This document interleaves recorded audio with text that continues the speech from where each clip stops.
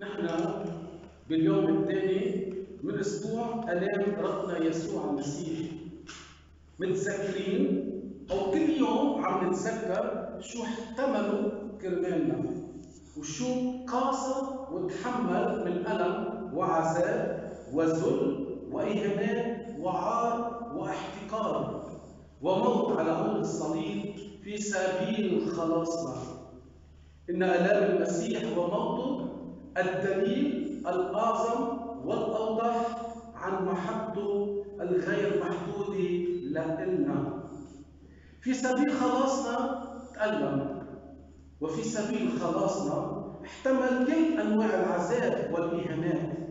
وفي سبيل خلاصنا مات على الصليب كأبر أو كأقدس مجرم بين نصفين وهل من حب أعظم من أن يبذل الإنسان نفسه عن من يحب أخوتي كان بمقدوره كان باستطاعة المسيح إنه يخلصنا من دون إنه يتعذب ومن دون إنه يتألم ومن دون إنه يصلب كان بيكفي إنه يريد لحتى نخلص ولكن محبته لنا ابت عليه إلا إنه يظهرها لنا بأبلغ نوع وأسمى دليل.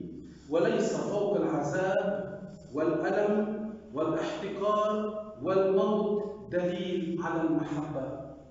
فمن يحتمل في سبيل من يحب ومن يضحي بنفسه ليسلم غيره الآخر بتكون محبته بلغت أعلى أقصى درجات الحب. فلا أسمى منها ولا أعظم. وهيدا يلي عمله صنعوا معنا المسيح لما تألم وتعذب ومات من أجلنا. المسيح فضل خلاصنا بالعذاب والعذاب الشديد الشديد والموت المريع على عود الصليب. لتكون آلامه الشديدة الدافع الأكبر والجاذب الأعظم إليه.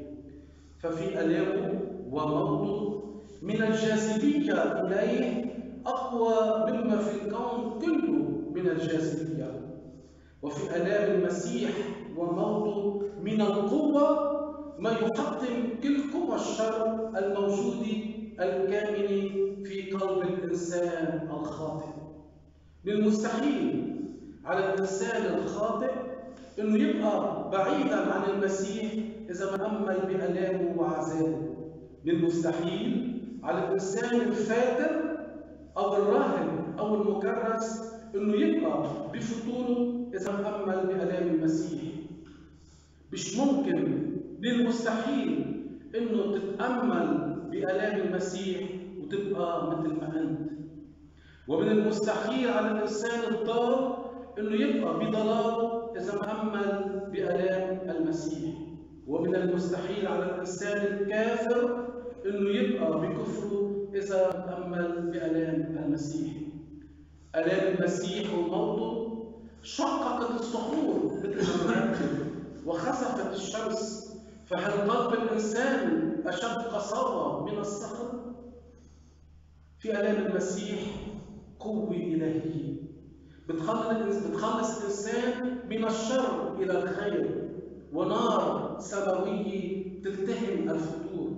وبتوقد المحبة في القلوب المدنجة لحتى تبلغ أسمى درجات الحرارة ونور إلهي ينير الضالين ويهدي الكافرين. أسبوع الآلام هيدا بخلي المسيحي يتمنطق بأعظم قوة بقلبه وإرادته. فبيخلع عنه الإنسان العتيق إنسان الخطايا. والإهمال والفتور وبيحطم سلاسل العادات الشريرة ويلي كبرت إرادته في الشر. بينتفض انتفاضة الأسد بقوة وشهامة ليسير ليمشي وراء المسيح حاملا صليبه بفرح بيتعذب معه في هذه الحياة ليسعد معه في الآخرة. أسبوع الآلام بيدفع الإنسان الخاطئ إلى كرسي الاعتراف ليخرج منه بارا نقيا فاضلا. أهلا لأن يعيد عيد قيامة المسيح بتناول جسده ودمه المقدس متمما فصحه الحقيقي أسبوع الآلام هو حمام سماوي بيتحمم فيه مسيحي غاسيا كل خطايا نفسه. لتعود بهية كالشمس جميلة كالقمر فلا أطهر منها ولا أجمل ولا أبدع أخوتي في آلام المسيح حلاوة بتحلي مرارة الحياة وصعوبتها. آلام المسيح تجعل من الإنسان المسيحي يحب الآلام بيستعذبها بيشوف فيها حلاوة المسيح وعزوته وبيعرف إنه فيها وبها وحدها بيصير شبيها بالمسيح المعذب المتألم المكلل بالشوق الحامل الصليب. فتشبها بالمسيح وطاعة له بيحمل صليبه كل يوم المسيحي وخاصة المكرس والملتزم روحيا. بيحمل صليبه بفرح وسرور ويسير وراء المسيح مبرهنا له إنه بيحبه. من صميم القلب فلا يخاف بردا أو حرا ولا مرضا أو ألما. حسبه أن يكون كالمسيح متألما حتى يكون سعيدا ومسرورا. ألام الحياة وعذابها هي للمؤمن عزوبه وحلاوة. بيفتح لها صدره بيستقبلها أهم الاستقبال على الصليب وأكبر نعمة بها بينقي نفسه وبيقوي قلبه. وبيبرز له الكنوز الأبدية عن أبيه السماوي بها يعلو صعودا في سلم المجد السماوي والسعادة حتى أعلى السماوات النفس المسيحية بتقول للمسيح من العار أن أكلل رأسي بالأزهار ورأسك مكلل بالشوق من العار أن أسر وأتلذذ وأن نفسك حزينة حتى الموت. يا ألام المسيح ما أقدسك وما أعظمك. يا إكليل رأس المسيح الشائك كل رأسي سياجا يحميه من الأفكار الرديئة والخيالات الشريرة.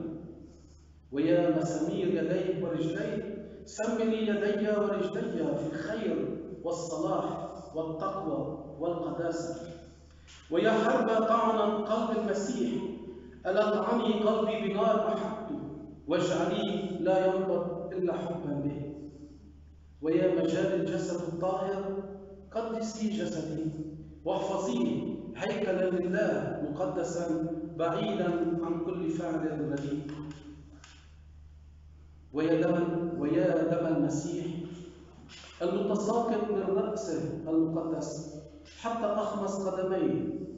اغسلني طهرني قدسني. ويا قلب المسيح المفتوح بالحربة اسمح لي أن أدخل إليك وأقيم فيك مدى الحياة فلا ألس منه مسكنا ولا أقدس منه مكانا. فأحبك وأحبك إلى الأبد. هيدا يلي بتمنى لنا جميعا بهيدا الأسبوع ويوم السجود للصليب المقدس. حمل الصليب واتباع يسوع. لنوصل جميعا للقاء المسيح ونحن منتصرين بنعمة الآب والابن والروح القدس. آمين.